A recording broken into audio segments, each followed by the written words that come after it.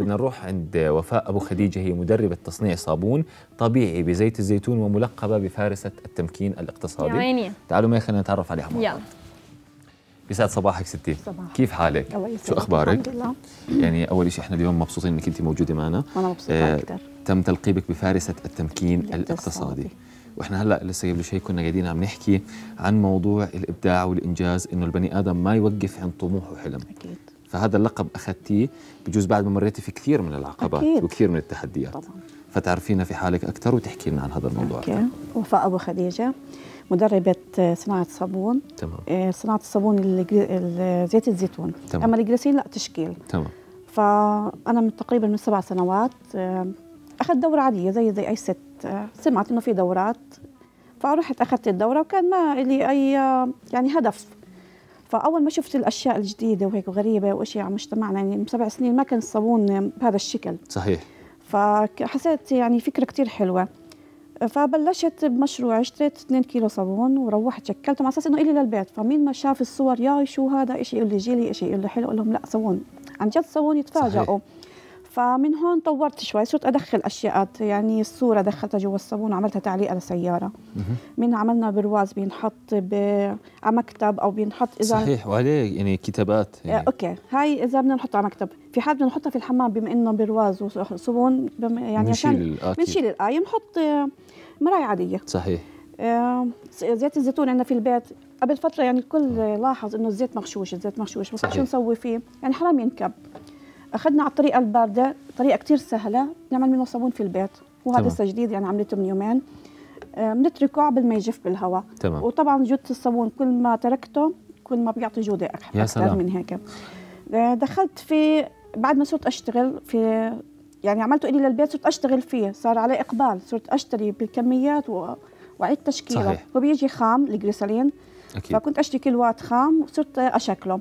صار يشتروا. مني. صحيح. صار فتح صار عندي مشروعي. أكيد. صار يجي علي دخل. صحيح. صرت أدرب النسوان ما هي هي. إحنا بدنا نحكي عن مرحلة التدريب. هي بدرب النسوان على الحرف اليدوية. بالضبط. آه، ما أهمية تمكين المرأة؟ أنت ك- كسيدة أردنية حصلتي على لقب فارسة التمكين التمكين الاقتصادي. الاقتصادي هذا اللقب لقب كبير لما تحصل عليه سيدة. قديش مهم السيدة إنها آه، تكون هي متمكنة اقتصاديا؟ تقدر تعيل زوجها تقدر. تعيش أبنائها وتكون فعالة في المجتمع. أكيد. يعني إحنا الكل شايف الوضع الاقتصادي كيف صار. صحيح. يعني الزوجه والزوج والأولاد يلا يكفوا. أكيد. فكمان مش حلو المرأة تترك بيتها وتطلع تشتغل دوام كامل وتترك صحيح. أولادها. صحيح. فصرنا نعمل آه، دورات تدريبية مم. خصوصا يعني هذا اللقب أجاني من شهرين بس. أنا من سبع سنوات كنت ملكة الصابون. ما شاء الله. لأني كنت في كل بازار أشارك فيه أو كل دورة أعطيها أدخل إشي جديد. يعني صرنا ندخل الستراس مع الصابون صار توزيعات يعني صار baby. الإبداع يطلع. صار يطلع. الإبداع قاعد بيطلع بالفعل. فيعني المرأة نشوف هلا حاليا. okay. فلما بلشنا فكرة تمكين المرأة اقتصاديا صرت أعط... صرت منسقه دورات مش أنا اللي أعطي لحالي. تمام. إيه، صرنا كل ثلاثاء نعطي دورة مجانية في الأخ أيمن مقدادي إيه، صاحب نادي البيارق. عرض علينا القاعه مجانية. تمام. قلت له كويس. فأنا بإمكاني أعطي دورات مجانية للسيدات تمكينهم اقتصاديا. بدل ما تروح المرأة تاخذ الدورة وتطلع من البيت وتدفع مصاري وتروح تشتغل لا إحنا وفرنا عليها إنها تدفع بدل تدريب. طب شو الهدف من الدورات المجانية؟ يعني بتستفيدي؟ الهدف أس- أستفادت إني ساعدت نساء. مش قادرات يطلعوا من بيتهم عشان تاخذ الدوره ب 10 أو 25 دينار. بتقول لك لا خليني ببيتي لا أنا عملت لك إياها مجانية. تعالي احضري وروحي ابدعي. حلو. ما في سيده إلا عندها إبداع. صحيح. وما إذا ما أخذت الخطوة الأولى إنها تروح تاخذ الدورة طول ما هي بالبيت مش رح تاخذها. فلما وفرنا لها إياها انه المكان مجاني. التدريب مجاني. تمام. والمواد إحنا بنجيبها كمان. نفرجيها كيف؟ يعني ما بنكلفها أي شيء غير إنها تيجي تحضر تروح تطبق. تمام. بندلها وين الأماكن اللي ممكن تشتري منها باماكن بأسعار أرخص كمان من السوق.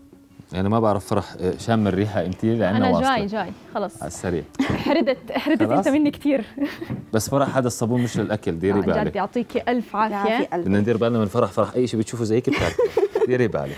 يعني مبين علي؟ مصدقتيه؟ ما هو المشكلة إنه مش لا، مبين عليها. أنا مش عمليتها أو مش جايبتها اليوم. هاي بعملها على شكل كاندي ومثلا لعبتك فرح. مثلا نعملها لون برتقال وحط عليها عطر برتقال بس صرت أخاف الأطفال ياخذوها وياكلوها صحيح. فصرنا شوي نشكل نغير في الألوان والعطور نعمل ما, ما نجيب العطور اللي معروفة نعم. اللي هي التفاح والكرز معروفة. أنا لا صرت أجيب عطور مميزه آه. بس بتخيل هدول خصوصا اللي على شكل وردة إذا بنحطه بال آه، آه، عفوا بالحمام مثلا بالحمامات أو شيء قد إيه رح يعطي بالضبط. منظر كثير حلو جمالية. ورائحة جميلة أكيد بالضبط يعني في أول ما تفوت مثلا على الحمام مراية الحمام لو حطينا أربع خمس منهم بيعطي العطر من معطي شكل نعم هاي هاي برضه صابون صابون صابونة صابونه. بس اللي جواتها آه، برواز. آه، برواز ومراية مهم. آه بس في شغلة هدول هلأ. صرنا نعملهم آه، توزيعات مسكني لعروس انت خلاص؟ آه خلص مثلا آه، العروس بدها توزع آه، بحفلتها هيك تعمل فقرة إلها ولصاحباتها ممكن تأخذ كم وحدة على عدد صحباتها وتوزع. وتوزعهم. فعلا. ومين بضلها للذكرى. طبعا كل اللي بتكون من مستحضرات طبيعية 100% 100% يعني درجه لو الطفل صغير حطها في ما بتقدر بس مش لدرجة إنه يبلعها. بس مش بلا صابون آه.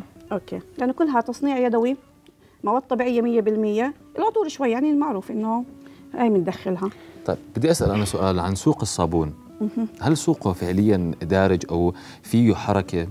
بصراحة أول ما بلشت قبل سبع سنوات كنت أنا الأولى في الزرقاء اللي بشتغل في الصابون. تمام. آه، حاليا لا صارت كثير منافسين ومنافسات وأسعار. يعني كنا بالأول نبيع التوزيعات ال- زي هاي.